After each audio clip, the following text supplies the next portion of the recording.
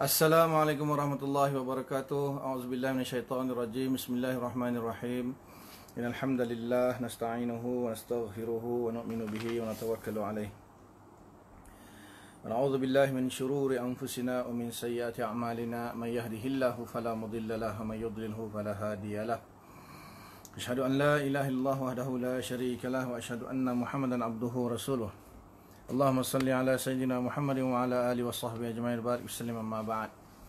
بسم الله الرحمن الرحيم. والعصر إن الإنسان لفي خسر إلا الذين آمنوا وعملوا الصالحات وتواصوا بالحق وتواصوا بالصبر. صدق الله العظيم.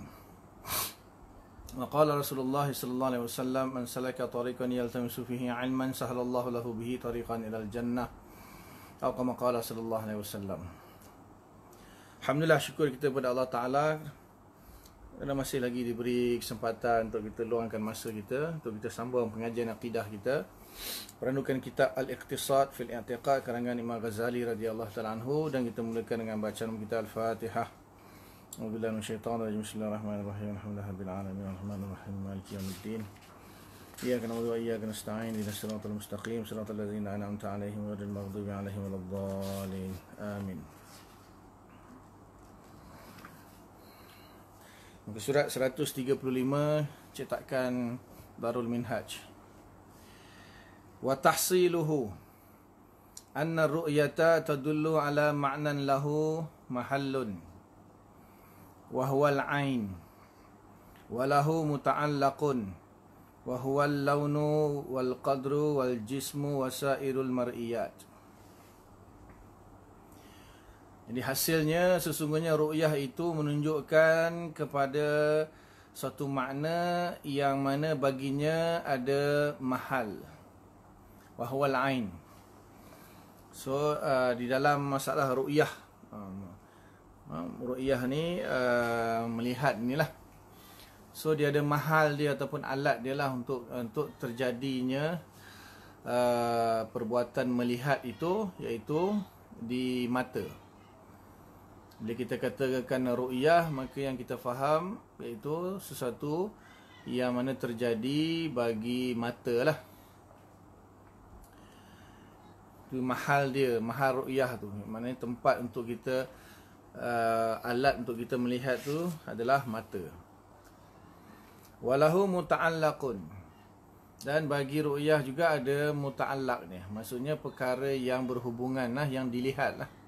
Perkara yang dilihat wahwa al-launu wal qadru seperti warna dan juga kadar wal jismu wasairul mar'iyat. Warna kadar kadar ni besar kecil. Kemudian jisim lah. Wasairul mar'iyat dan juga semua perkara-perkara yang boleh dilihat lah. So ada tiga eh. Satu ru'yah ah, proses melihat itu perbuatan melihat itu yang kedua, alat atau mahal bagi melihat iaitu mata.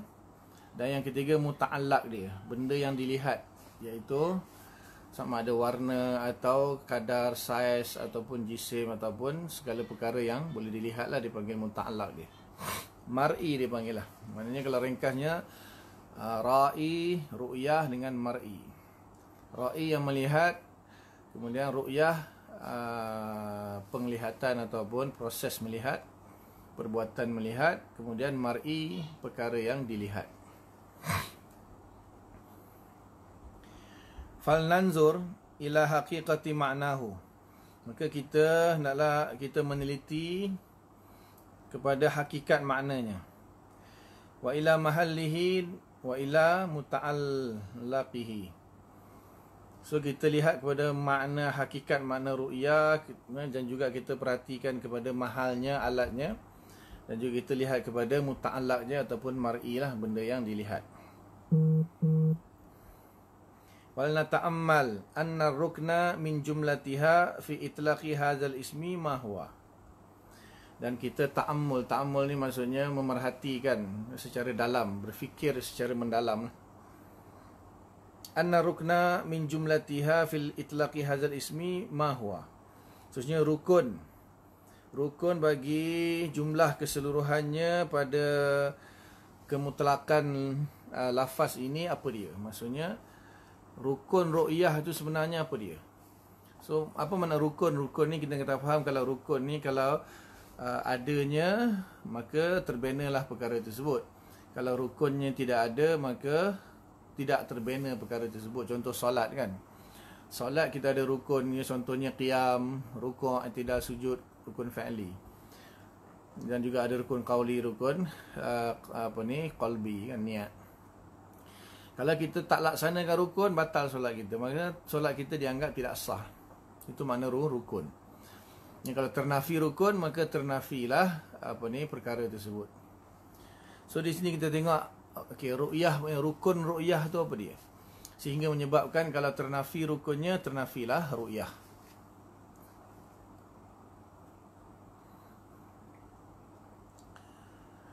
Fanaqul maka kami katakan wa ammal mahallu adapun mahal falaisa bi ruknin fi sihhati hadhihi tasmiyah.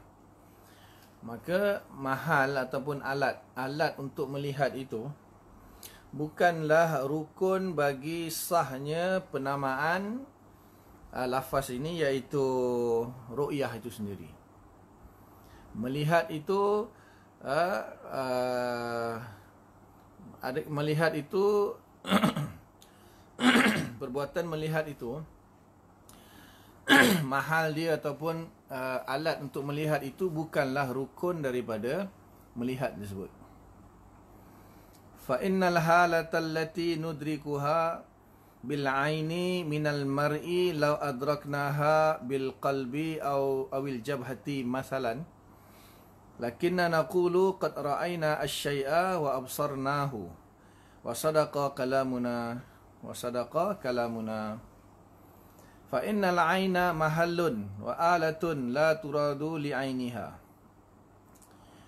bal litahulla fihi hadhihi al halah haisu halat al halatu tammat al haqiqatu wa ismu okay. Jadi uh, fa innal halata allati nudrikuha sesungguhnya keadaan yang mana kita memperolehinya bil aini dengan mata minal mar'i daripada sesuatu yang kita lihat itu lau adraknaha bil qalbi awil jabhati masalan. Kalaulah kita perolehinya dengan hati atau dengan dahi misalnya lakinna naqulu akan tetapi kita akan katakan qad ra'ayna syai'a wa absarnahu sungguh kita telah melihat sesuatu dan memerhatikannya wa sadaqa kalamuna maka benar perkataan kita Okay, maksudnya mana Ghazi nak kata uh, melihat dengan mata kan. Tapi boleh tak kita kata aku melihat dengan hatiku? Ataupun melihat dengan dahiku, contoh. Contoh melihat dengan dahi. Nabi sallallahu alaihi wasallam, Nabi sallallahu alaihi wasallam kan dalam hadis yang masyhur dalam sahih Bukhari Muslim, Nabi kata uh, aku melihat kamu. Ya, ha, dia yang berada di belakangku. Masa ketika solat aku memerhatikan kamu. Jadi Nabi SAW melihat dengan uh, dengan apa? Mukjizat lah, mukjizat Nabi. Nabi Nabi semayang jadi imam. Tapi Nabi kata, aku janganlah kamu uh, melakukan sekian kerana aku melihat kamu dengan uh, aku melihat kamu ketika berada di belakangku. Maksudnya Nabi melihat bukan Nabi toleh. Takkan dengan semayang Nabi menoleh tengok sahabat buat apa. So satu mukjizat bagi Nabi, Nabi boleh melihat tak tahu dengan apa. ha? Ada yang kata uh, tak tahulah. Jadi maknanya yang penting Nabi melihat. Nabi melihat bukan dengan mata. Ha? Atau kita kata aku melihat dengan hatiku. Contohnya melihat dengan hati, contohnya mimpi kan. Kalau kita mimpi kita melihat sesuatu, nak tanya melihat dengan apa? kita mimpi tidur kan tidur mata tutup tidur lepas tu kita dalam mimpi kita nampak tu nampak ni kita nampak dengan apa dengan mata ke dan mimpi itu kan namanya ru'yah bahasa Arab memanggil mimpi pun ru'yah juga ha. jadi ru'yah ini melihat ini kalau kita melihatlah maknanya dia bukanlah alat itu adalah rukun ru'yah itu sendiri. Maksudnya kalau orang tu tidak melihat dengan mata sekalipun, Sama ada dia melihat dengan hati atau melihat dengan dahi, melihat dengan apa sajalah. Maka makna melihat itu terhasil. Makna melihat tetap terhasil. Walaupun tidak menggunakan mata. So boleh melihat guna hati, boleh melihat guna dahi, boleh melihat contohlah. Kata Imam Ghazali contoh jabat ajam tu maksudnya dahi misalnya. Atau melihat dengan kepala belakang atau yang penting melihat itu terhasil. Maknanya tak semestinya dengan mah, mata. Kalau dengan hati pun masih kita kata melihat. Dengan apa saja pun yang penting ha, maksud melihat itu tercapai walaupun bukan dengan mata. So bermakna mata ini mahal atau alat tidak termasuk dalam rukun melihat. Kalau ternafinya mata pun masih melihat tu masih boleh difahami, masih boleh terhasil melihat itu walaupun bukan dengan mata. So Imam Ghazali nak batalkan bahawa mahal ataupun alat mata itu bukanlah rukun daripada melihat. Maksudnya kalau tak ada mata pun masih boleh melihat. Melihat dengan hati, melihat dengan apa sajalah. Maksudnya kalau Allah Ta'ala misalnya, Allah Ta'ala nak jadikan kita boleh melihat dengan telinga, boleh tak? Boleh. Allah Ta'ala nak jadikan kita melihat dengan hidung, boleh? Boleh. Sekarang ni Allah Ta'ala jadikan kita di dunia ni, asbabnya untuk melihat Allah jadikan mah mata.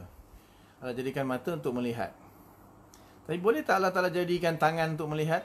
Boleh tak Allah Ta'ala jadikan lutut untuk melihat? Allah nak buat? Boleh. Tak mustahil bagi Allah Ta'ala.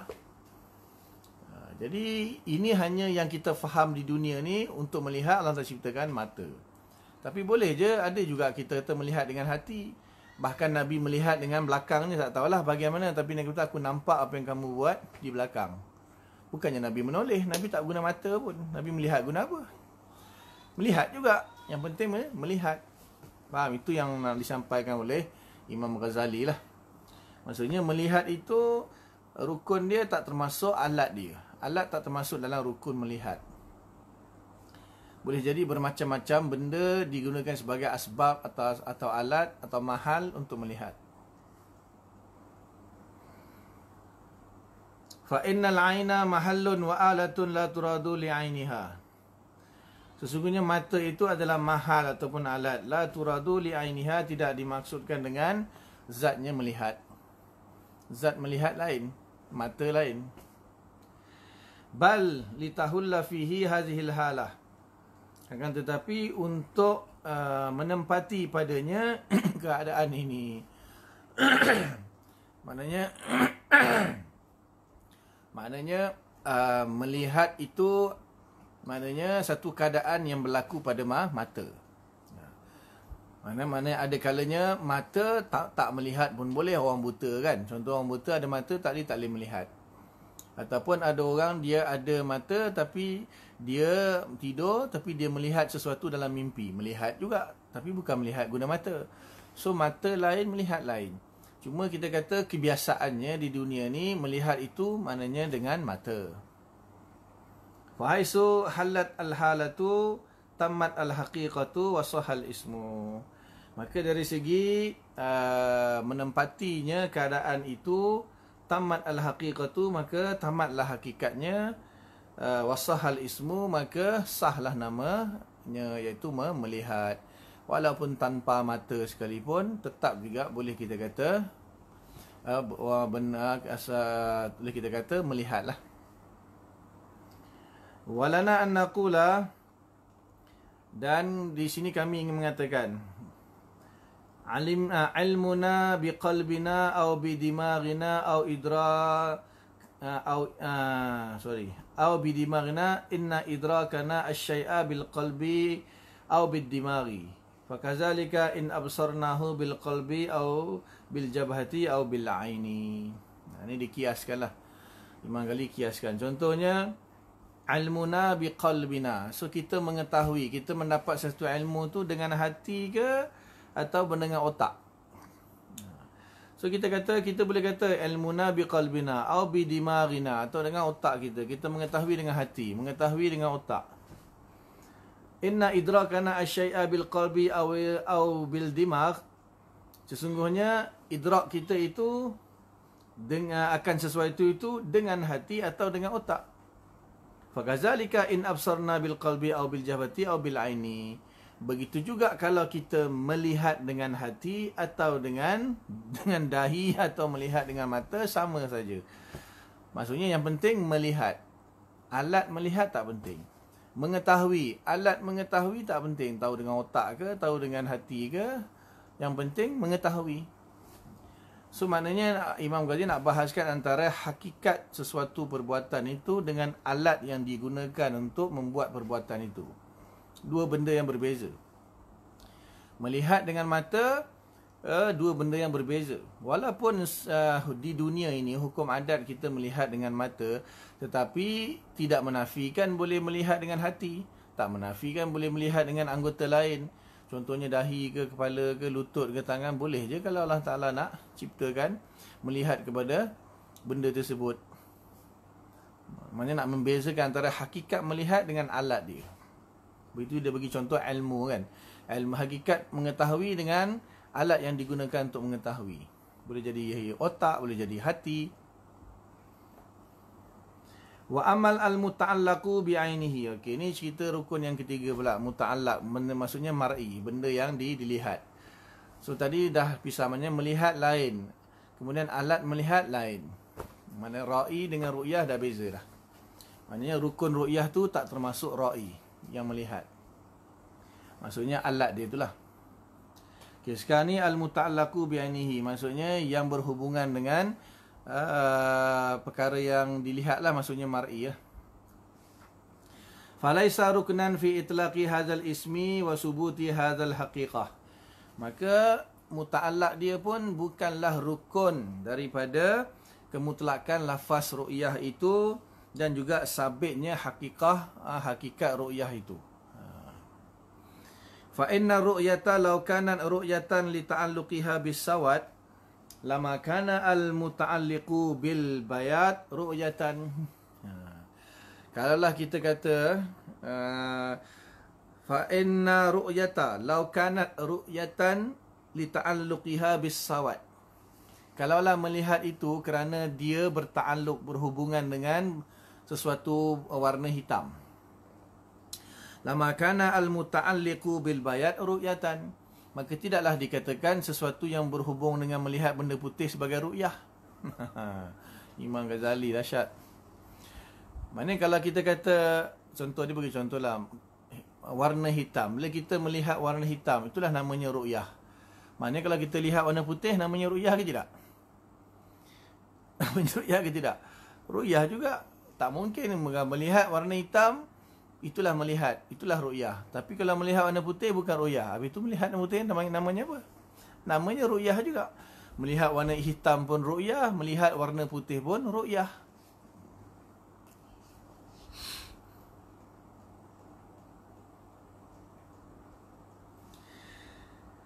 Walau kana li ta'alluqiha bil launi. Kalaulah ru'yah itu berhubungan dengan warna. Lama kana al muta'alliqu bil harakati ru'yatan. Maka tidaklah dia sesuatu yang berhubungan dengan pergerakan tu dikatakan ru'yah. Maknanya kalau kita kata kita tengok warna itu namanya ru'yah. Bila kita melihat warna tak kira hitam putih ke apa okey. Maka habis tu kalau kita melihat pergerakan tu namanya apa? Kita lihat pergerakan tu namanya apa namanya ru'yah juga namanya ru'yah juga faham Walau kana li ta'alluqiha bil arad. Kalaulah adanya ta'alluq ru'yah itu dengan arad, lama kana al muta'alliqu bil jismi ru'yatan. Maka tidaklah dikatakan yang berhubungan dengan jisim itu sebagai ru'yah.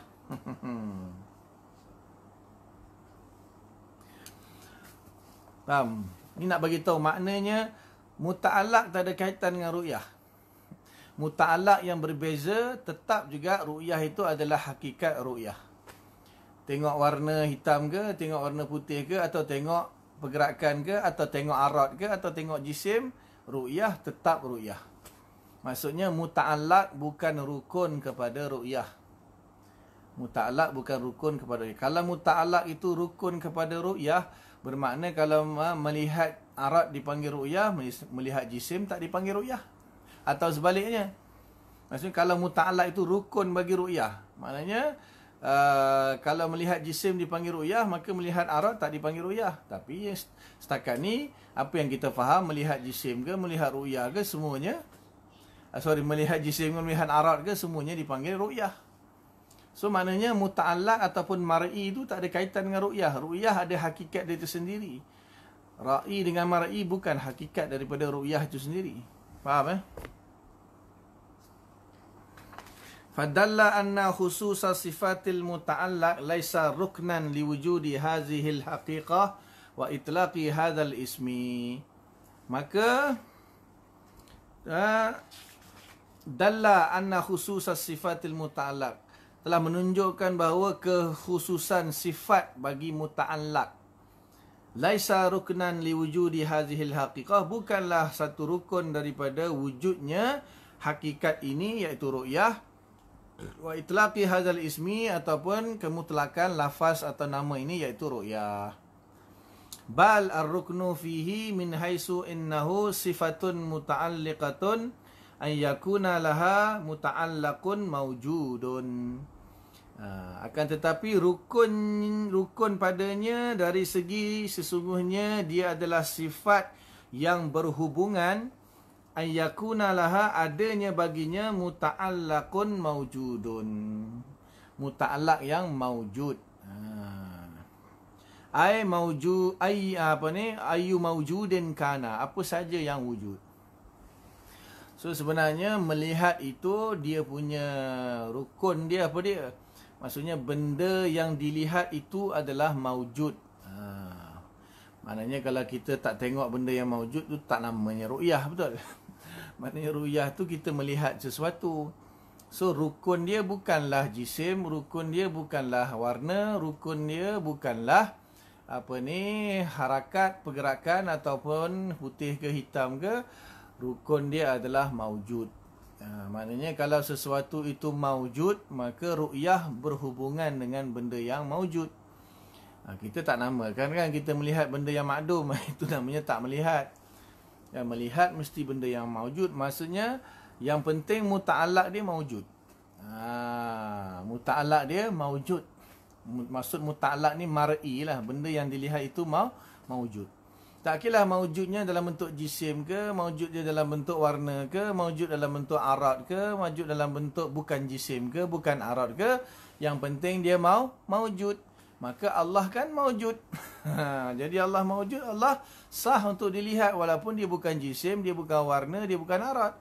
Kerana muta'allaknya rukun bagi ru'yah bukan bukan bertakluk dengan jisim, bukan mesti bertakluk dengan arat. Dia hanya bertakluk dengan maujud. Ha, bila bertakluk dengan maujud, itulah rukun ru'yah. Jadi Allah tu maujud, sahlah Allah Ta'ala tu dilihat walaupun dia bukan jisim, bukan arat. Jadi Mu'tazilah kata Allah Ta'ala tidak boleh dilihat. Kenapa? Kalau Allah Ta'ala dilihat, pasti dia jisim, pasti dia arat. Kita kata sejak bila pula rukun ru'yah itu mesti bertakluk dengan jisim, mesti bertakluk dengan arat. Di dunia ni iyalah. Di dunia ni memanglah kita kita nak, nak melihat sesuatu, mestilah benda tu berjisim, berarat, berwarna, bergerak. Ha, kalau tak berjisim, ha, apa benda, benda tak ada warna, kita pun tak nampak. Angin pun kita tak nampak kan. Kan? Maknanya sebab apa dia tak ada, dia tak ada warna. Dia berjisim tapi kita tak nampak warna dia. Dia tak ada bentuk kan, angin. Kita tak nampak angin. Dia boleh nampak pokok bergoyang ni lah. Kesan angin tu tapi angin tu sendiri kita tak, tak nampak. Sebab apa? Uh, kerana apa? Dia apa tidak ada warna itu di dunia. Di di dunia ni, di dunia ni pasal dia ada hukum asbab dia. Tetapi di akhirat nanti Allah Ta'ala akan jadikan kita punya ru'yah kita akan melihat segala benda yang maujud. Termasuklah Allah Subhanahu Wa Ta'ala yang maujud kita boleh melihat. Tak semestinya yang dilihat itu mesti berjisim, mesti berwarna. Berwarna pun boleh, tak berwarna pun boleh. Berjisim pun boleh, tak berjisim pun boleh. Yang penting dia mau maujud. Ha, di dunia ni kita tak nampak angin lah sebab angin kan maujud kita tak nampak dia. Kenapa? Itulah hukum dunia. Di dunia memang Allah bataskan yang kita boleh nampak di dunia ni yang berbentuk dan berwarna saja. Ada yang tak berbentuk dan kita tak boleh lihat di dunia ni. Sebab tu di dunia kita malaikat pun tak nampak. Betul? Malaikat wujud ke tak? Malaikat wujud juga. Tak nampak kenapa? Allah Ta'ala tidak meng mengizinkan kita untuk melihat malaikat. Faham? Jadi Allah Ta'ala mewujud Meskipun kita tak nampak di dunia ni Sebab belum lagi masanya untuk kita melihat Allah Sampai masanya di akhirat Kita akan melihat Allah. Tapi tak semestinya bila kita melihat Allah Allah mesti berarah, mesti berjisim. Itu bukan rukun ru'yah. Faham eh?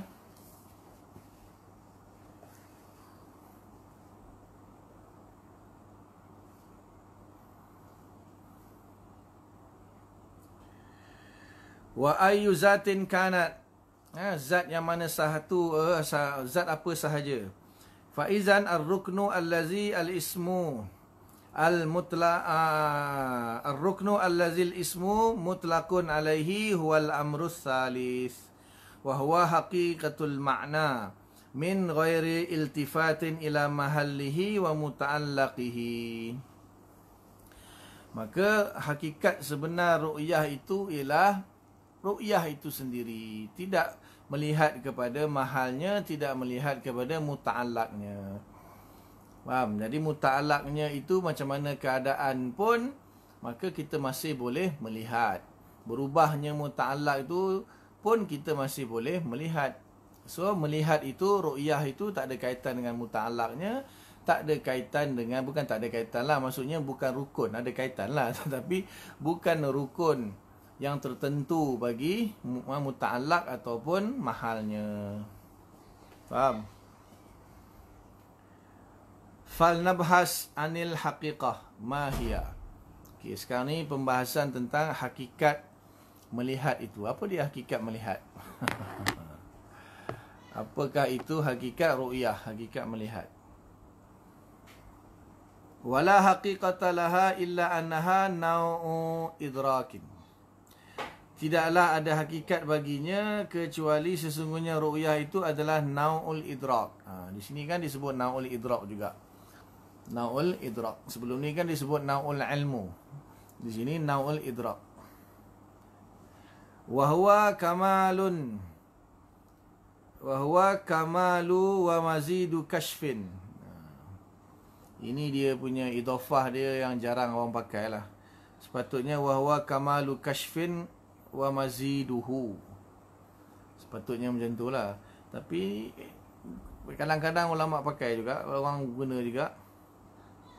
Bahawa kamalu ha, kalau kalau tak jadi kamalu wa mazidu kashfin. Ha, idafah dia dia atapkan idafah terbalik.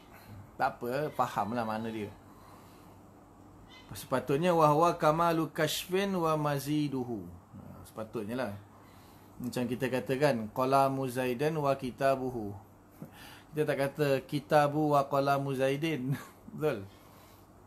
Kita tak kata kitabu wa qalamu zaidin. Ha, contohlah biasa kita kata kitabu zaidin wa qalamuhu. Tapi di sini Imam Ghazali wa huwa kamalu wa mazidu kashfin. Boleh saja tak ada masalah. So kita kata ru'yah ini hakikatnya ialah kamalu kashfin wa mazidu kashfin. Kesempurnaan kasyaf dan ke ketambahan. Dan tambahan kasyaf bil idafati ilal mutakhayyil ataupun bil idafati ilal ila mutakhayyal disandarkan kepada sesuatu yang boleh dikhayalkan. Fa inna nara as-sadiqa mathalan Sesungguhnya kita melihat as-sadiqa masalan. Summa naghbidu al-aina. Kemudian kita memajamkan mata.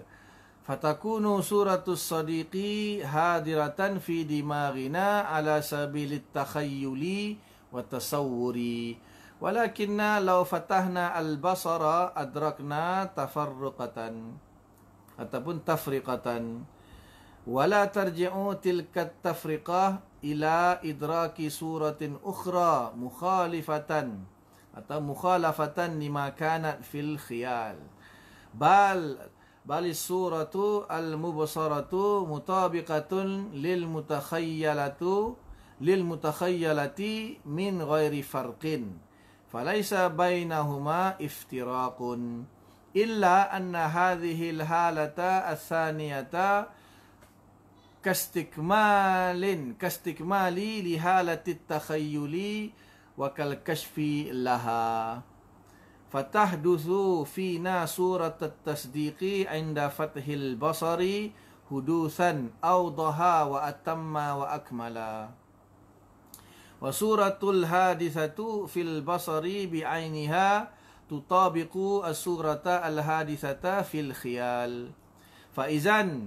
tutabiqu as-surata al-hadithata fil khiyal fa izan at-takhayyulu naw'u idrakin ala rutbatin wa wara'ahu rutbatun ukhra hiya atammu minhu fil wuduhi wal kashfi bal hiya katakmili lahu fanusammi hadzal istikmal bil idafati ila al khiyal ru'yatan wa ibsaran okay. Ini uh, Imam Ghazali nak menerangkan makna hakikat ru'yah tu apa dia okay. yang pertama dia kata ru'yah itu nau' daripada idrak macamnya daripada idrak. Idrak tahu eh, idrak tu perolehan ataupun dapatan lah. Wahwa kamalu wa mazidu kashfir. Maksudnya kesempurnaan dan uh, kasyaf ni maksudnya singkapan lah. Singkapan yang uh, tambahan. Pasal apa nanti ilmu pun idrak juga. Banyak sama pun idrak juga. Maksudnya idrak ni banyak. Idrak ni umum idrak ni ada macam-macam dia. Maknanya ru'yah idrak, maknanya mendengar idrak, melihat idrak, mengetahui idrak, merasakan idrak, membau idrak, itu semua id, idrak. Idrak ni apa yang saja yang kita perolehi namanya id, idrak. So ru'yah pun salah satu cabang daripada idrak. Bahkan dia adalah kamal wal mazid uh, uh, inkishaf. Maksudnya kesempurnaan dan tambahan bagi singkapan bil idafati ilal mutakhayyal disandarkan kepada sesuatu yang boleh dikhayalkan. Ha. Fa inna nara as-sadiqa masalan contohnya lah kita melihat seorang kawan kita. Summan nagmidu al-aina kemudian kita pejam mata kita. Kita tengok seseorang kita pejam mata kita. Tengok muka kawan kita, tengok muka mak kita, tengok apa sajalah. Lepas tu kita pejamkan mata kita. Fatakunu suratus sadiqi hadiratan fi dimarina. Maka apa yang kita lihat tadi gambaran muka kawan kita ataupun muka mak kita muka siapa-siapa atau benda apa saja yang kita tengok tu lah. Kita tengok lepas tu kita tutup mata. Maka gambaran itu kan muncul di otak kita. Gambaran yang kita lihat tu muncul di otak kita. Ala sabilit takhayyuli wa tasawwuri ha, dengan jalan takhayyul ataupun tasawur maksudnya uh, khayal lah ha, kita menghayalkan gambar itu dan kita menggambarkannya di otak kita. Nanti nanti nanti nanti ha, ya walakinna law fatahna al-basara. Akan tetapi kalaulah kita membuka mata kita atau pandangan kita adrakna tafriqatan. Ha. Maka kita akan dapat kita akan dapati perbezaan. Kita akan dapati perbezaan. Wala tarji'u tilka tafriqah ataupun tafarruqah ila idraki suratin ukhra. Dan tidaklah kembali perbezaan itu kepada mendapatkan satu surah yang lain mukhalifatin ataupun mukhalafatin lima kanat fil khiyal. Berbeza dengan apa yang telah ada pada khayalan kita. Bal asuratu al mubsaratu mutabiqatun lil mutakhayyalati min ghairi farqin. Tetapi gambaran yang kita lihat itu bersesuaian dengan apa yang kita khayalkan tanpa ada perbezaan. Ha. falaisa bainahuma iftiraqun. Tidak ada antara kedua-duanya perbezaan maksudnya bila kita tengok satu benda tengok Lepas tu kita pejam mata, kita bayangkan benda tu kan. Benda kan bayangan ni muncul dalam otak kita. Maknanya tak ada beza. Tak ada beza dari segi gambaran dia. Maknanya apa yang kita lihat di luar tu bila kita pejam mata, itulah dia yang muncul dalam fikiran kita. Tapi satu dalam bentuk realiti lah. Ha, yang kita tengok tu benda tu memang uh, yang wujud fil kharij itu benda yang realiti. Satu lagi wujud dalam kepala otak kita. Waalaikumsalam warahmatullahi illa anna hadhihi al-hala athaniya kal istikmali li halati takhayyul wa kal kashfi laha kecuali uh, bila kita buka mata itu ada buka mata bila kita buka mata itu bila kita lihat benda tu balik maka dia seolah menyempurnakan lagi apa yang kita khayalkan. Apa yang kita khayalkan. Faham? Contohlah orang tu dia tak pernah pergi dia tak pernah pergi Mekah misalnya. Tak pernah pergi Mekah. Zaman dululah. Orang cerita kat dia tentang Kaabah. Orang kata Kaabah itu adalah satu macam kotak hitam besar bangunan yang pak segi uh, ditutup dengan kain hitam. So dia boleh bayangkanlah benda tu dalam otak dia kan. Lepas tu bila dia pergi Mekah, dia tengok depan mata dia, oh ini rupanya apa ni Kaabah. Maknanya satu tadi kan digambarkan dalam kepala otak dia. Satu lagi dia boleh tengok depan mata dia. Benda yang sama je. Benda yang sama. Cuma tadi dalam bentuk khayal, yang ni dalam bentuk ha, kenyataan, dalam bentuk realiti. Maka ada dua keadaan lah. Ada dua keadaan. Sama ada kita tengok, lepas tu kita tutup mata, kita kita tengok balik kan. Mana dua keadaan yang berbeza lah. Satu gambaran yang terhasil dalam akal kita, dalam bentuk khayalan atau gambaran. Satu lagi yang kita tengok dengan betul-betul dia uh, berada di di berada di alam nyata lah.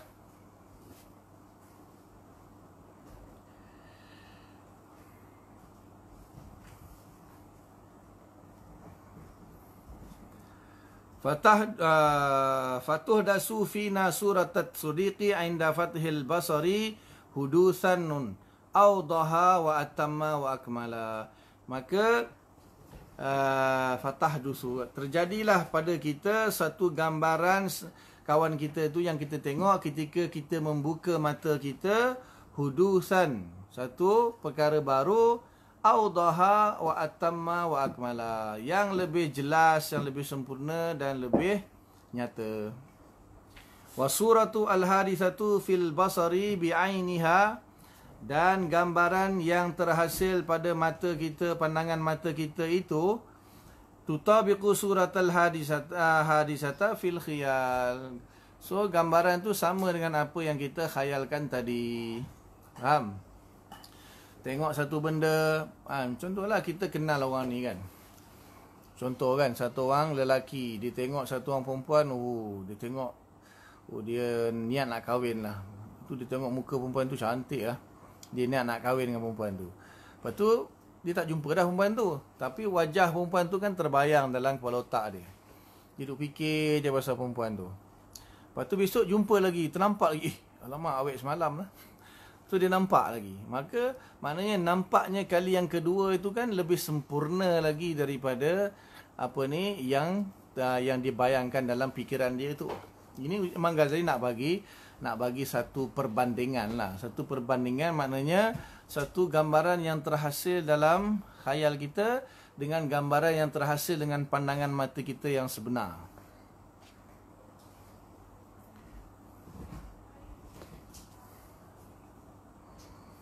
Faizan at-takhayyulu naw'u idrakin ala rutbatin wa wara'ahu rutbatun ukhra hiya atammu minhu fil wuduhi wal kashfi.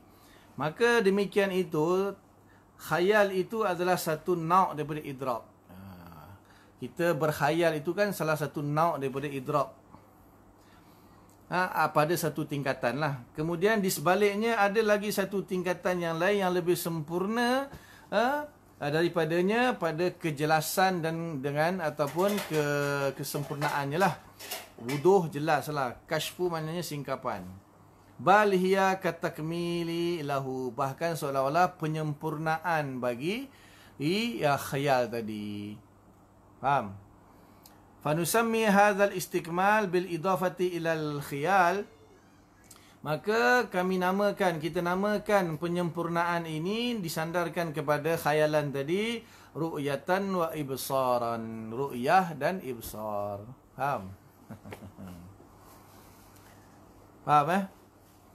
Bila hari ni kita tak pernah tengok malaikat contohnya. Kita tak pernah tengok syurga. Tetapi bila diceritakan tentang syurga, kita bayangkan, kita bayangkan. Betul?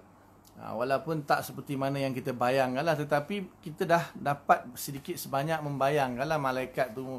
Katanya 600, Jibril 600 pasang sayap dibuat daripada cahaya. adalah sedikit sebanyak bayangan kita tu tapi tingkatan dia tak sama lah besok dengan kita nampak secara nyata kita tengok betul syurga tengok betul malaikat tengok betul last sekali tengok Allah lah faham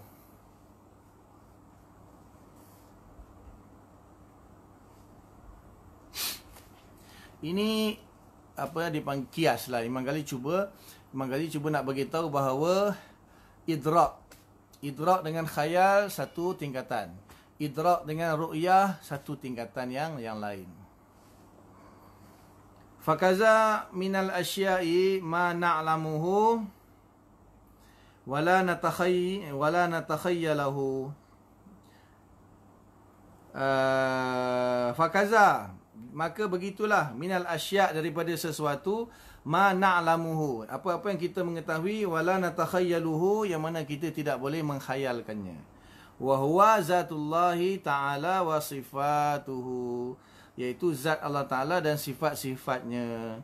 Wa kullu ma la surata lahu dan setiap sesuatu yang mana tidak ada gambaran baginya ai la launa lahu wala qadra misal qudrati wal ilmi wal ishki wal ibsari wal khiyali fa inna hadhihi al umur na'lamuha wala natakhayyaluha jadi uh, setiap perkara yang tidak ada gambaran padanya iaitu maksudnya tidak ada warna, tidak ada kadar, saiz uh, contohnya seperti kudrah, ilmu, ishq. Ishq ni uh, kerinduan. Wal ibsar penglihatan, wal khayal khayalan itu sendiri. Fa fa inna hadhihi al-umura na'lamuha wa la natakhayyaluha. Perkara ini kita ketahui tetapi kita tak boleh nak bayangkan dia. Faham? Ada perkara yang kita boleh bayangkan dan kita boleh melihatnya dan mengetahuinya. Ada benda yang kita tidak boleh, kita tidak boleh membayangkannya tapi kita mengetahuinya dan kita akan melihatnya. Faham? Maknanya semuanya idrak.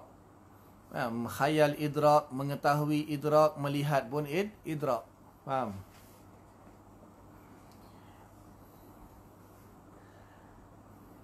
Contohnya maknanya macam ilmu lah. Ilmu tu apa dia? Kita nak bayangkan ilmu pun tak boleh. Tapi kita tahu lah ilmu tu apa dia. Betul? Boleh ke kita melihat ilmu? Aha. Kalau sesuatu tu wujud, memang dia boleh dilihat. Tapi ingat eh, kena satu perkara penting ingat. Kita ahli sunnah berjamaah, kita tidak pernah mengkiaskan hakikat sesuatu perkara itu dengan uh, melihat kepada pengalaman kita sebagai manusia. Uh, itu penting. Sebab ada mazhab yang berpendapat apa yang manusia boleh capai, boleh idrak, itu sajalah yang wujud, macam itulah hakikat dia. Itu masalah. Kita kata banyak lagi perkara-perkara yang kita tak berpengalaman mengidrakkannya, tetapi satu hari kita akan idrakkannya. Kita akan idrak juga benda itu. Maksudnya manusia ni dipikir kalau tak ada warna, tak ada bentuk, tak ada jisim, tak boleh tengok. Siapa kata? Maksudnya dia panggil kias, dia panggil kaedah dia qiyasul ghaib ala syahid. Dia suka mengkiaskan Allah Ta'ala dengan makhluk. Maka sebab tu kita panggil dia musyabbihah. Kita panggil dia mujassimah ataupun musyabbihah. Sikit-sikit, mesti kalau manusia tak faham, benda tu tak boleh terima akal dia ukur sesuatu perkara ikut kefahaman dia, ikut pengalaman dia. Itu masalah besar. Dia cuba nak faham Allah dengan mengkiaskan kan, pengalamannya di dunia. Di dunia dia hanya boleh melihat benda yang wah, berjisim saja. Di dunia ni dia hanya boleh melihat benda yang berwarna saja. So macam mana nak tengok Allah yang tak ada jisim, tak ada warna macam mana? Ha, so dia dia kata tak boleh. Maknanya satu lagi nafikan terus, mana tak boleh lihat lah. Satu lagi pula, macam tu Allah mestilah kena ada jisim, kena ada warna. Kalau tidak macam mana nak tengok? Faham? Kalau kita tak ada. Kita kata ya, jangan kita bataskan hmm, perkara itu ikut kemampuan kita. Kuasa Allah Ta'ala ni maha luas. Allah Ta'ala boleh buat apa saja. Allah Ta'ala boleh buat mata kita mendengar, telinga kita melihat. Allah Ta'ala boleh buat. Allah Ta'ala boleh boleh buat kita hidup tanpa udara. Boleh. Ui, mana boleh hidup tanpa oksigen? Mati ya. Allah Ta'ala boleh hidupkan kita tanpa oksigen lah. Kalau orang tu kata tak boleh, oh maknanya dia telah membataskan kuasa Allah Ta'ala. Na'udzubillah. Faham?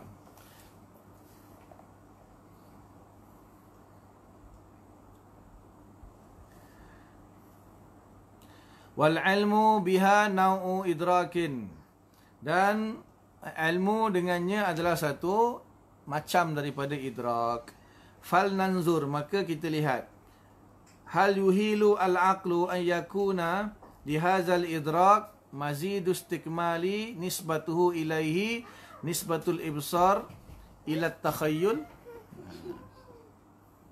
demam maka kita lihat Hal yuhilul aqlu adakah akal memustahilkan? Yuhilu maksudnya menganggap mustahil.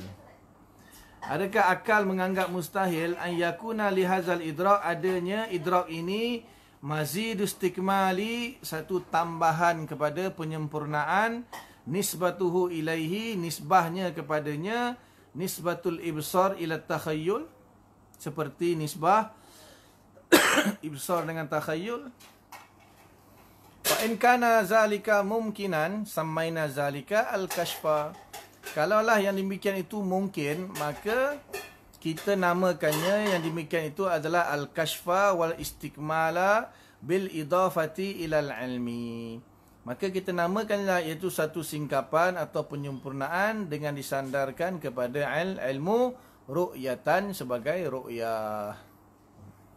Kama samainahu bil idafati ila takhayyuli seperti mana kita namakannya eh, dengan disandarkan kepada takhayyul ru'yatan ru'yah juga wa ma'lumun anna taqdira hadzal istikmal fil istidahi wal istikshafi ghairu muhalin fi mawjudatil ma'lumati allati laysat mutakhayyalatan maka uh, diketahui sesungguhnya takdir hazil istikmal ketetapan penyempurnaan ini fil istidahi wal istikshafi di dalam menuntut suatu penjelasan atau kesingkapan. Ghairu muhalin tidaklah mustahil fil maujudati pada perkara-perkara yang wujud al maklumati yang diketahui allati laisat mutakhayyalatan yang mana tidak boleh dikhayalkan. Kal ilmi wal qudrati wa ghairihima seperti ilmu kudrah dan selain daripada keduanya. Wa kaza fi zatillahi taala wa sifatihi begitu juga ha, ha, sifat Allah taala ha, zat Allah taala dan sifat-sifatnya. Bal nakadu nudriku. Hampir-hampir kita memperolehi daruratan minat tab'i secara daruri daripada tabiat annahu yataqada talba mazid istidahin. Sesungguhnya ia menuntut satu ketambahan penambahan bagi penjelasan fi zatillahi taala wa sifatihi pada zat Allah taala ha, dan juga sifatnya wa fi zawati dan wa fi zawati hadhil ma'anil ma'lumat kulliha dan juga kepada zat-zat makna-makna yang diketahui kesemuanya. Maknanya eh, kalau sesuatu macam ni ilmu itu wujud. Contohnya lah ilmu wujud kudrah Allah Ta'ala kan oh, wujud.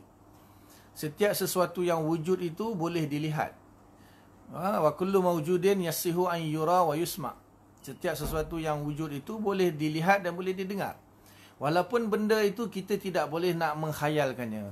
Kita nak khayalkan apa itu ilmu. Kita nak khayalkan apa itu kudrah tak boleh khayal tapi kita kalau Allah Taala ciptakan kemampuan untuk kita melihat ilmu kita boleh lihat ilmu kalau Allah Taala ciptakan kita boleh melihat kudrah kita boleh melihat kudrah dalam asy'ariyah dalam asy'ariyah ha, kalau siapa yang biasa apa ni mengaji matan Sanusi kan matan Umul Barahin jadi Imam Sanusi bahkan semua ulama lah mengatakan bahawa kebanyakanlah Imam Sanusi jelaslah dalam Matan Mul Barahin dia mengatakan ta'alluq ha, sifat samak dan basar itu berta'alluq dengan maujudat.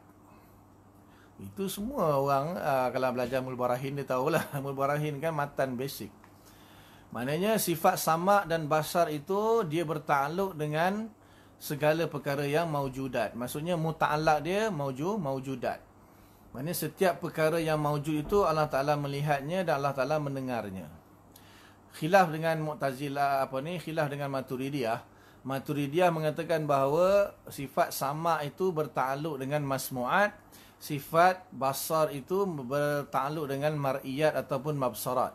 Nah, itu kan Maturidi. Jadi Asy'ariyah mengatakan Allah Taala boleh melihat bunyi, boleh mendengar bunyi. Allah Taala boleh melihat warna dan boleh mendengar warna. Ha, itu Asy'ariyah.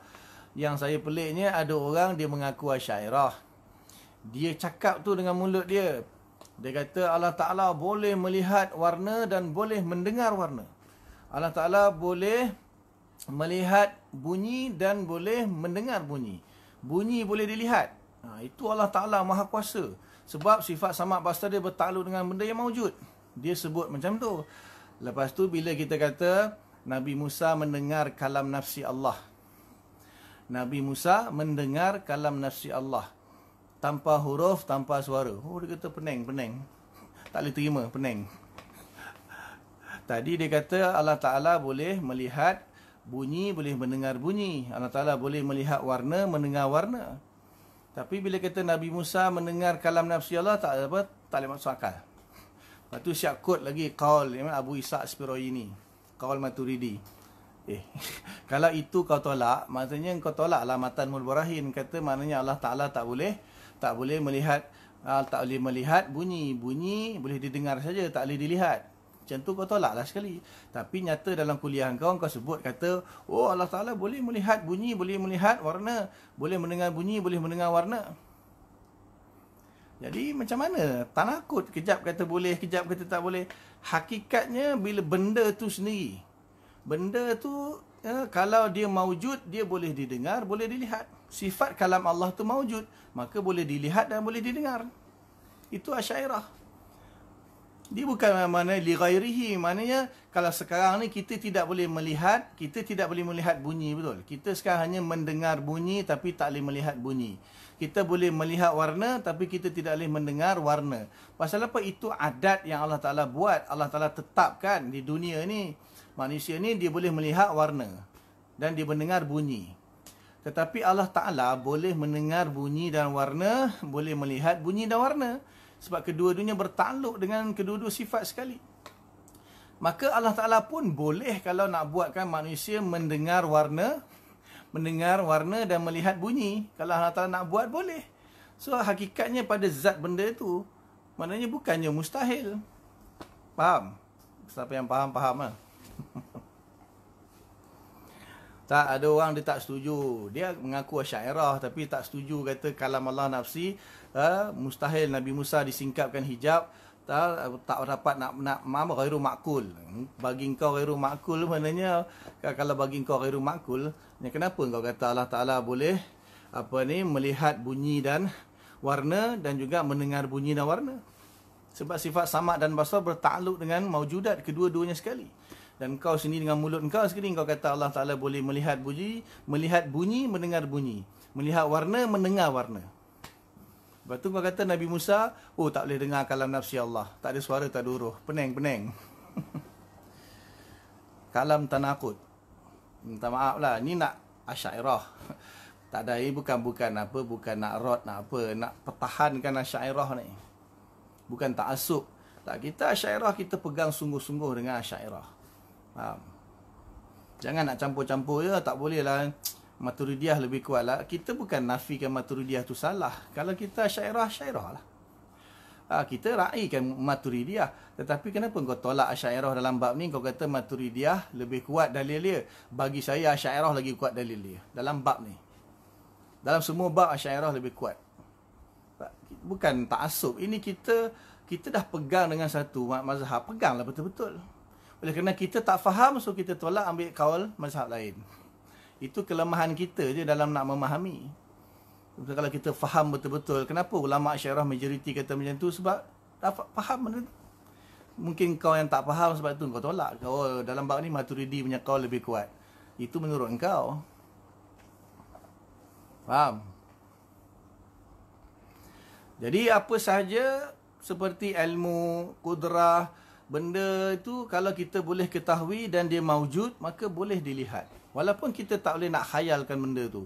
Macam mana rupa bidadari, macam mana rupa ilmu, macam mana rupa kudrah, macam mana rupa zat Allah Ta'ala, tak boleh khayal. Tapi bukanlah berarti kalau kita tak boleh khayal, berarti tak boleh dilihat. Siapa punya, apa punya dalil tu? Mana dalil ke setiap benda yang kamu tak boleh kamu tak boleh khayalkan berarti kamu tak boleh lihat. Apa yang kamu tak boleh khayalkan berarti dia tak wujud. Itu siapa yang kata tu? Daripada mana? Mana itu sebenarnya manusia ni dia menghukumi ikut pengalaman dia. Faham? Ikut pengalaman dia. Dia boleh khayal, oh benda tu oh, logik. Kalau dia tak boleh khayal, oh berarti tak logik. Dia pengalaman melihat benda tu macam ni, ah, itulah syarat dia rukun dia. Kalau dia tak boleh, mana itu bukannya dia menafikan benda tu. Itu manusia. Kita kata tak. Manusia ni terbatas. Manusia ini terbatas. Sekali selagi benda itu mungkin, maka Allah Taala boleh boleh apa ni? Boleh ciptakan kemungkinan tersebut. Walaupun kemungkinan tu Allah Taala tak buat di dunia ini sebab bukan semua benda mungkin Allah Taala buat dalam dunia ni. Kalau mustahil iyalah. Kalau perkara tu termasuk mustahil, baru boleh kita kata benda tu apa ni uh, tidak akan terjadi kerana kudrah Allah tidak bertakluk dengan benda yang mustahil. Tetapi selagi perkara itu mungkin maka uh, kenapa Allah Taala tak boleh buat benda tu? Faham?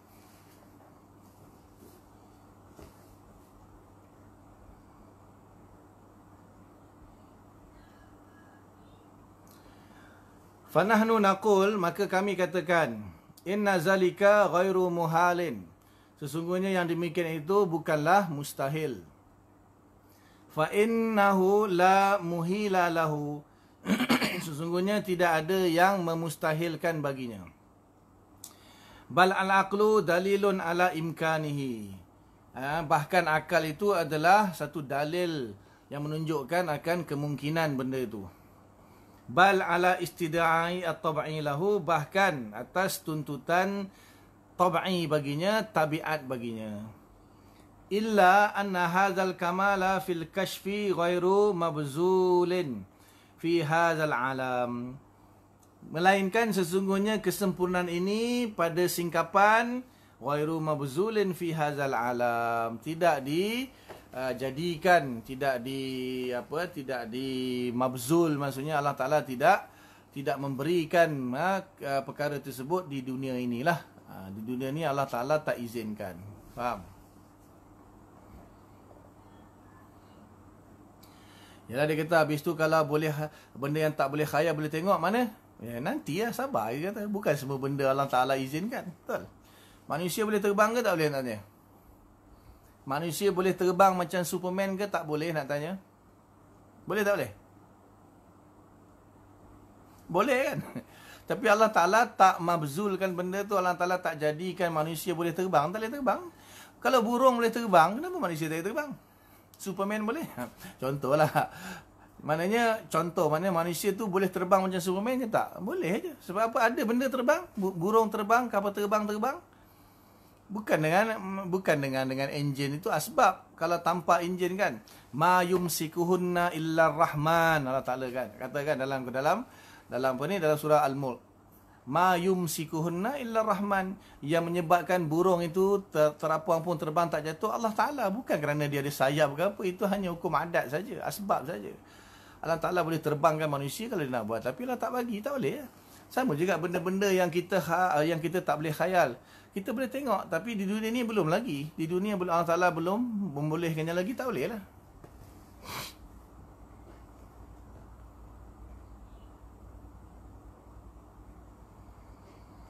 wan nafsu fi syughlil badani uh, wa kadurati sifatihi wa huwa bisababihi mahjubun anhu.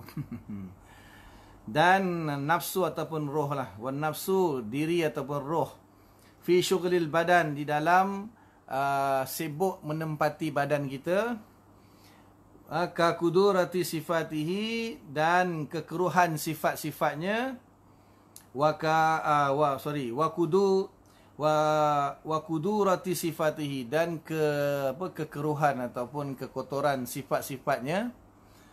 Fahuwa bisababihi mahbu mahjubun anhu. Dan dengan sebab itulah kita ter terhalang daripada melihat Allah taala. Adalah Allah Taala tak izin tu saja. Sebenarnya boleh je kalau Allah Taala kan harus. Kita asyairah kata ahli sunnah kalau melihat Allah di dunia secara hukum harus. Cuma Allah Taala tak tak izinkan Nabi Musa pun Allah Taala tak izinkan. Nanti kan ada ada lepas ni dalil pembahasan tentang dalil naqli tentang ru'yah ni. Wa kama la yab'ha yab'udu an yakuna al-jafnu aw sitru aw sawadu ma fil aini sababan bi hukmi ittiradil adah ha, lam tana'a al-ibsar lil mutakhayyalat seperti mana tidaklah jauh adanya kelopak mata kemudian apa ni penutup ataupun kehit mata hitam ma fil ainin. Apa saja yang ada pada mata itu sababan sebagai sebab bi tiradil adah dengan hukum berlakunya adat lam tana'a al besar lil mutakhayyalat maka akan tercegahlah untuk melihat benda-benda yang boleh dikhayalkan. Fala yab'udu an takuna kuduratun nafsi. Dan tidaklah jauh adanya kekotoran diri itu kekotoran roh tu. Watarakamul hijabil ishghal ataupun ashghal dan ketebalan hijabnya kesibukan bihukmi tiradil adah dengan hukum itiradnya adah. Itirad tu maksudnya ada sesuatu adalah dia punya madlul dia mani'an min ibsaril ma'lumat sebagai pencegah daripada melihat perkara-perkara yang boleh diketahui. Antara sebab lah banyak kan dalam apa dalam dalam dalam apa dalam ilmu tasawuf kan. Ini kalaulah tidak kerana hati-hati manusia itu dikelilingi ataupun di isghal maksudnya asghal ni ada kesibukan-kesibukan syaitan maka dah tentu mereka akan dapat melihat apa yang berada di langit kan hadis masyhur. Tak tahulah sahih ke tak. Maknanya adalah memang ha- asalnya Allah Taala memang takdirkan di dunia ni kita belum boleh melihat. Banyak benda kita tak boleh lihat di dunia ni bukannya Allah saja. Malaikat pun kita tak boleh lihat jin pun kita tak boleh lihat. Banyak benda kita tak boleh lihat di dunia ni kan adalah dia punya hikmah dia Allah Taala jadikan as asbab-asbab dia. Contohnya Imam Ghazali kata mungkin disebab kotornya hati kita ataupun badan kita sendiri itu adalah hijab. Bagi kita melihat alam gaib. Jadi uh, badan kita ni kan kita ni manusia kan ada dua unsur, satu roh, satu jasad. So uh, apabila roh ditiupkan ke dalam jasad dalam perut ibu kita bila kita lahir di dunia kita lupa terus alam-alam malakut, alam roh kita lupa, alam gaib, alam gaib semua kita lupa. Seolah-olah jasad kita ni hijab, jasad kita ni hijab bagi roh. Kalau tak percaya tunggu matilah. Tunggu mati bila roh dicabut, bila malaikat maut Israel datang, malaikat maut datang cabut uh, roh kita daripada badan, masa tu kita nampak semua alam gaib. Nampak malaikat, nampak syaitan, nampak alam gaib. Ketika roh dicabut daripada jasad. Uh, sebab itulah kata ulama jasad kita ni hijab bagi roh melihat sesuatu yang boleh dilihat oleh roh. Uh, ya, contohnya malaikat, jin, syaitan dan roh kita sendiri pun kita tak nampak. Betul. Tapi bila roh dicabut daripada badan, ha, masa tu kalau tak percaya tunggu. Tunggu mati tengok. Roh boleh tengok, tak boleh tengok. Ha, jadi jasad ni seolah-olah hijab. Memang ketentuan adat kan. Tu dia katakan apa ni? Bihukmi ittiradil adah. Maksudnya hukum dengan ittiradnya adah. Maksudnya hukum adat sabab dengan musabab lah. Hukum sabab dengan musabab. Maksudnya selagi manusia punya roh itu menempati jasadnya dia akan terhijab daripada banyak perkara. Nanti bila dia tercabut roh daripada jasad, banyak perkara akan disingkapkan. Tetapi untuk melihat Allah tu tunggu sabarlah di akhirat nanti. Faham eh?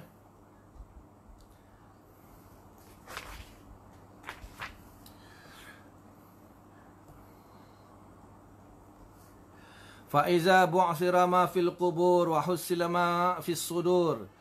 وزكت القلوب بالشراب والطهور وصفيت بأنواع التصفية وتنقية لم يمتنع أن يستعد بسببها لمزيد استكمال واستضاه في ذات الله تعالى Apabila kubur dibongkarkan dan didedahkan segala apa yang ada dalam hati, dalam dada dan dibersihkan segala hati-hati dengan minuman-minuman yang suci. Dan dimurnikan dengan bermacam-macam penyucian dan tanqiyah. Ha, penyucian lah tasfiyah tanqiyah tu penyucian. Lam yamtani an yasta'idda bisababiha limazid istikmali wastidahin fi zatillahi ta'ala. Maka itu tidak akan mencegah untuk persediaan dengan sebabnya bagi tambahan kesempurnaan dan penjelasan untuk melihat zat Allah Taala. Iz fi sairil ma'lumat kerana pada seluruh perkara-perkara yang diketahui yakunu irtifa'u darajatihi meningkatlah darjatnya minal ilmil ma'hud kartifa'i darajatil ibsar anit takhayyul. Seperti meningkatnya darjah ibsar daripada darjah takhayyul. Maksudnya tadi kan contoh kan mana benda yang kita hayalkan bila kita tengok dengan nyata depan mata kita bertambahlah istikmal dan istidah dia. Kan benda yang kita sekadar hayalkan saja kemudian kita buka mata tengok depan mata kita dia akan bertambah jelas lagi. Sama juga Allah Taala kita hanya ketahui saja Allah Taala itu wujud Allah Maha sempurna Allah bersifat begitu begini. Kita hanya tahu tapi akan nanti di akhirat akan meningkat lagi dengan satu darjat istikmal istidah itu dengan kita melihat Allah Taala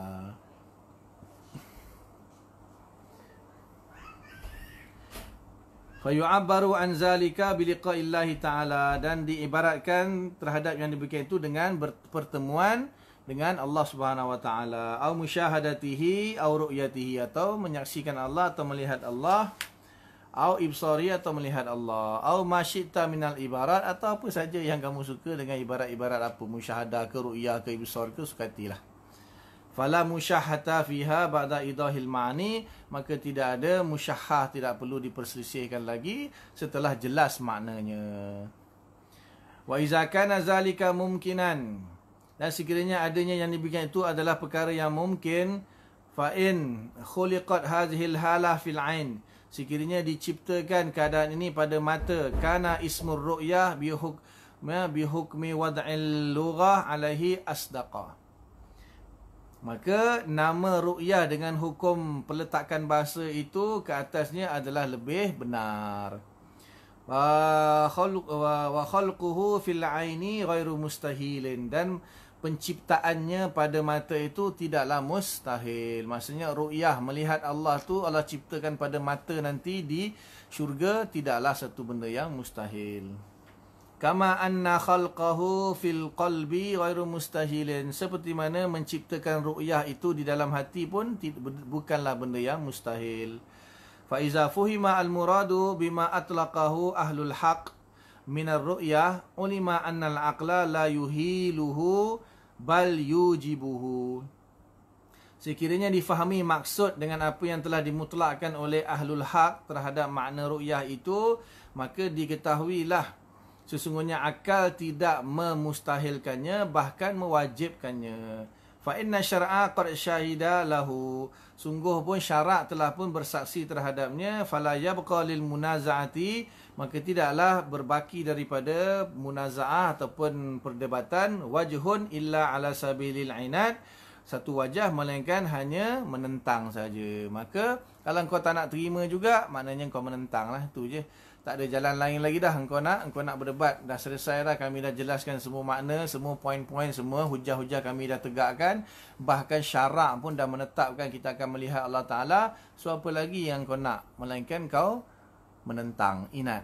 Itu je awil musyahata fi itlaqil ibaratir ru'ya ataupun kau nak berselisih dengan itlaknya ibarat ru'yah itu. Awil qusuri andarki hadzal ma'hazihil ma'ani ataupun kau memang tak mampu ada kusur kekurangan. An andarki hazihil ma'ani daqiqah allati dzakarnaha untuk kau memahami makna-makna yang daqiq yang halus ini yang telah kami nyatakan. Wal naqtasir fi hazihil mujiz ala hadzal qadar dan kami rasa cukuplah uh, yang ala hazil mujiz dalam kitab yang ringkas ini ala hazal qadar setakat kadar ini sahaja. Tak nak terima juga pan melantak kau lah. Itulah kata. Kata Imam Ghazali. InsyaAllah nanti kita sambung tarfus fi wuku'i syar'an. Ha, ini dalil syarak terhadap melihat Allah Ta'ala. Sebab apa Mu'tazilah dia takwil. Mu'tazilah dia takwil makna ru'yah secara syarak tu kan. Wujuh yawma izin nadirah ila rabbiha nazirah. Dia takwil diguna Quran juga la tudrihul absar wa yudrihul absar. Kemudian tentang dalil apa ni Rabbi arini anzur ilaik yang Nabi Musa minta untuk melihat Allah tu kan dalil maknanya Allah boleh dilihat sebab Nabi tak mungkin minta benda yang mustahil. Sebenarnya akan ada munakasyah dari sudut dalil nakli pula. insya-Allah kita sambung malam besok. Kalau berkesempatan lah. Wallahu taala alam. Sakat tu dulu apa yang baik daripada Allah taala apa yang kelemahan saya lah. Minta ampun pada Allah minta maaf kepada semua. Mudah-mudahan Allah bagi taufik kita faham akan sampaikan. Tangguh dengan kafarah majlis. Subhanallah bihamdika nasyhadu an la ilaha illa anta. Nastaghfiruka wa natubu ilaik subhana rabbika rabbil izzati amma yasifun wa salamun alal mursalin. Walhamdulillahi rabbil alamin. Assalamu alaikum warahmatullahi wabarakatuh